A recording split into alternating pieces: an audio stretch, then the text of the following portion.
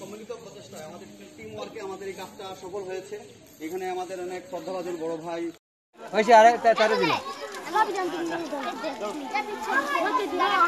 অনেকদিন পর আমরা সবাই একসাথে একত্রিত হয়ে খাবার ও মাস্ক পেয়েছি। আমরা সবাই অনেক খুশি। এজন্য স্যার এবং শিক্ষককে অনেক ধন্যবাদ দিচ্ছি।